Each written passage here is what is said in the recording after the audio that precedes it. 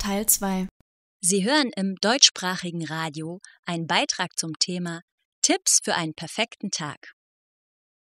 Beantworten Sie danach die Fragen kurz in Stichworten wie im Beispiel.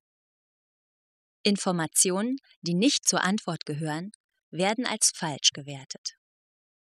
Sie hören den Beitrag zweimal. Versuchen Sie, die Fragen schon beim ersten Hören zu beantworten.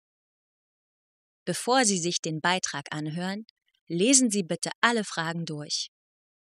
Dafür haben Sie 90 Sekunden Zeit. Sie finden zuerst ein Beispiel.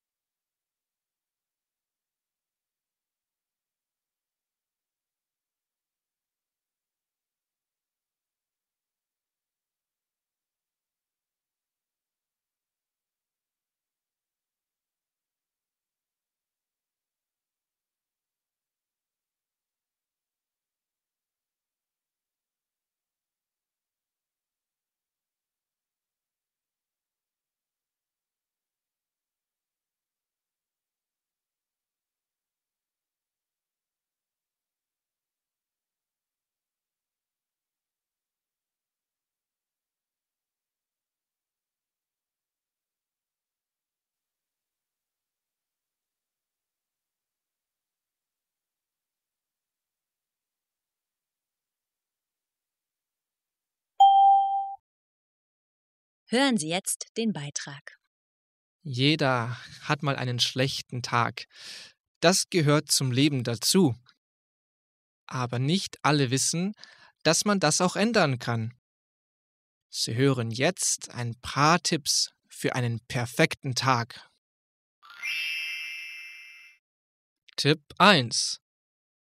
Es ist 6.30 Uhr morgens. Der Wecker klingelt. Die meisten Menschen öffnen dann ihre Augen und fühlen sich schon müde. Aber es muss nicht so sein. Lassen Sie am Abend die Vorhänge auf. Dann kommt am Morgen das Sonnenlicht ins Zimmer und weckt Sie. So sind Sie schon vor dem Weckerklingeln halb wach und das Aufstehen fällt Ihnen viel leichter. Tipp 2. Den ganzen Tag lang muss man kommunizieren. Mit Kollegen, mit Mitschülern und Familienmitgliedern. Auch darauf kann man sich vorbereiten. Es ist ganz einfach und kostet Sie nichts. Hören Sie nach dem Aufstehen, während Sie sich anziehen oder frühstücken, die neuesten Nachrichten im Radio. Die vielen Informationen machen uns wach und bereit für all die Gespräche, die wir während des Tages führen werden. Tipp 3. Vergessen Sie nicht zu frühstücken. Ein gesundes Frühstück gibt dem Körper Energie. Und davon brauchen Sie viel. Denn Sie haben einen langen Tag vor sich. Es gibt Menschen, die morgens nach dem Aufstehen noch nichts essen können. Das ist aber nicht schlimm. Ein Glas Milch reicht auch. Wichtig ist, dass man überhaupt etwas zu sich nimmt. Tipp 4. Irgendwann ist Mittagszeit und Sie haben schon Hunger. Am besten sollten Sie ein warmes, leichtes Essen wählen. Wenn Sie am Nachmittag noch Unterricht haben oder arbeiten müssen, ist eine schwere Speise nicht gut für Sie, denn danach fühlen Sie sich müde und schläfrig. Sie können in der Kantine oder in der Schulmensa essen und dort können Sie sich mit Kollegen oder Mitschülern unterhalten und ein bisschen entspannen.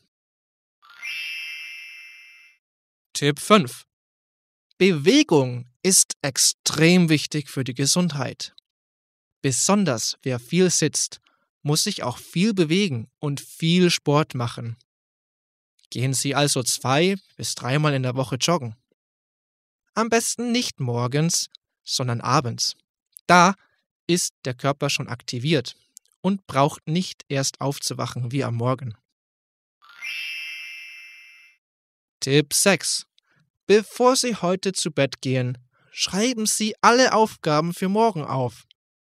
So machen Sie dem heutigen Tag ein Ende und können ruhig einschlafen. Vielleicht lesen Sie aber davor noch einige Seiten in einem interessanten Buch. Es ist egal, wie viele Stunden Sie schlafen. Es muss genug für Sie sein. Das ist am wichtigsten. So bleiben Sie gesund und starten Sie fit in den Tag. Jetzt haben Sie eine Minute Zeit, um Ihre Notizen zu ergänzen und zu korrigieren.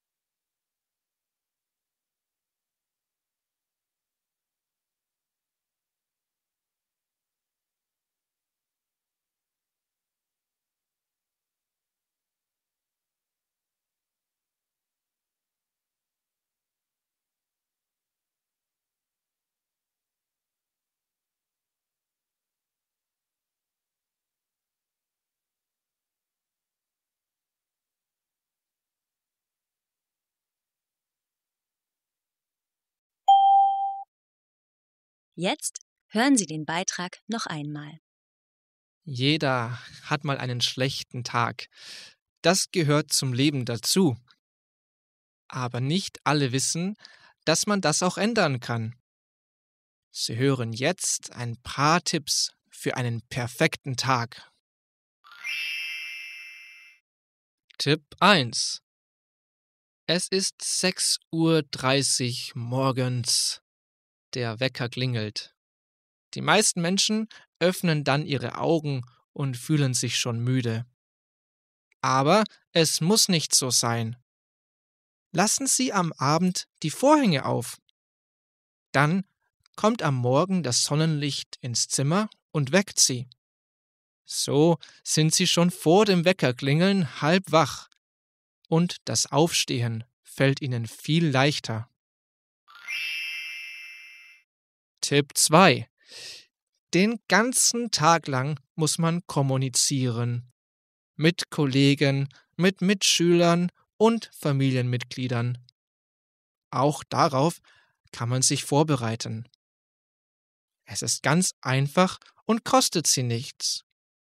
Hören Sie nach dem Aufstehen, während Sie sich anziehen oder frühstücken, die neuesten Nachrichten im Radio. Die vielen Informationen machen uns wach und bereit für all die Gespräche, die wir während des Tages führen werden. Tipp 3. Vergessen Sie nicht zu frühstücken. Ein gesundes Frühstück gibt dem Körper Energie. Und davon brauchen Sie viel. Denn Sie haben einen langen Tag vor sich. Es gibt Menschen, die morgens nach dem Aufstehen noch nichts essen können. Das ist aber nicht schlimm. Ein Glas Milch reicht auch. Wichtig ist, dass man überhaupt etwas zu sich nimmt. Tipp 4. Irgendwann ist Mittagszeit und Sie haben schon Hunger. Am besten sollten Sie ein warmes, leichtes Essen wählen. Wenn Sie am Nachmittag noch Unterricht haben oder arbeiten müssen, ist eine schwere Speise nicht gut für Sie, denn danach fühlen Sie sich müde und schläfrig. Sie können in der Kantine oder in der Schulmensa essen und dort können Sie sich mit Kollegen oder Mitschülern unterhalten und ein bisschen entspannen. Tipp 5. Bewegung ist extrem wichtig für die Gesundheit. Besonders wer viel sitzt, muss sich auch viel bewegen und viel Sport machen. Gehen Sie also zwei bis dreimal in der Woche joggen. Am besten nicht morgens, sondern abends. Da ist der Körper schon aktiviert und braucht nicht erst aufzuwachen wie am Morgen. Tipp 6. Bevor Sie heute zu Bett gehen, schreiben Sie alle Aufgaben für morgen auf. So machen Sie dem heutigen Tag ein Ende und können ruhig einschlafen. Vielleicht lesen Sie aber davor noch einige Seiten in einem interessanten Buch. Es ist egal, wie viele Stunden Sie schlafen. Es muss genug für Sie sein. Das ist am wichtigsten. So bleiben Sie gesund und starten Sie fit in den Tag. Sie haben jetzt 90 Sekunden Zeit, um Ihre Notizen zu korrigieren und zu beenden.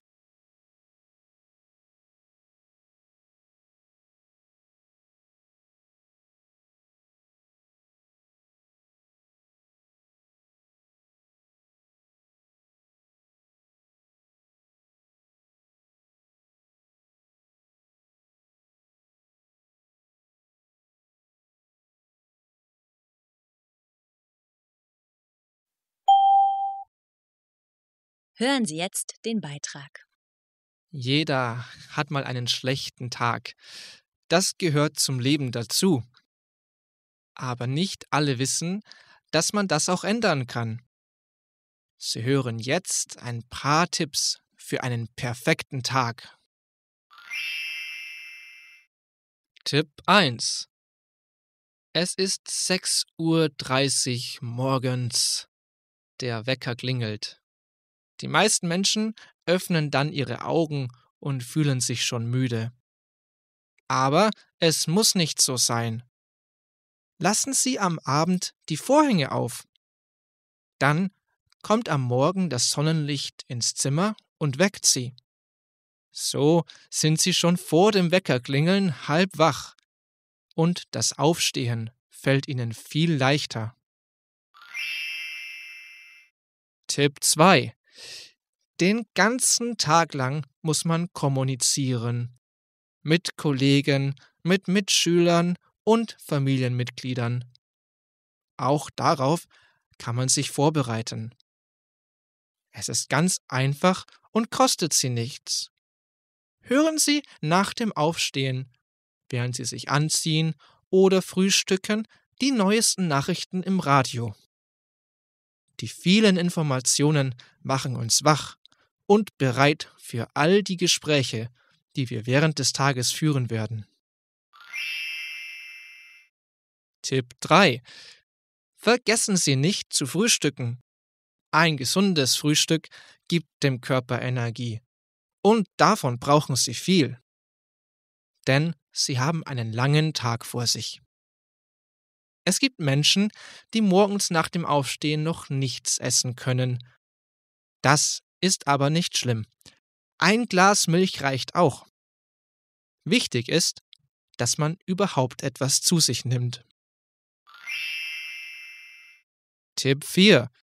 Irgendwann ist Mittagszeit und Sie haben schon Hunger. Am besten sollten Sie ein warmes, leichtes Essen wählen. Wenn Sie am Nachmittag noch Unterricht haben oder arbeiten müssen, ist eine schwere Speise nicht gut für Sie, denn danach fühlen Sie sich müde und schläfrig. Sie können in der Kantine oder in der Schulmensa essen und dort können Sie sich mit Kollegen oder Mitschülern unterhalten und ein bisschen entspannen. Tipp 5. Bewegung ist extrem wichtig für die Gesundheit. Besonders wer viel sitzt, muss sich auch viel bewegen und viel Sport machen. Gehen Sie also zwei bis dreimal in der Woche joggen. Am besten nicht morgens, sondern abends. Da ist der Körper schon aktiviert und braucht nicht erst aufzuwachen wie am Morgen. Tipp 6. Bevor Sie heute zu Bett gehen, schreiben Sie alle Aufgaben für morgen auf. So machen Sie dem heutigen Tag ein Ende und können ruhig einschlafen. Vielleicht lesen Sie aber davor noch einige Seiten in einem interessanten Buch. Es ist egal, wie viele Stunden Sie schlafen. Es muss genug für Sie sein. Das ist am wichtigsten. So bleiben Sie gesund und starten Sie fit in den Tag.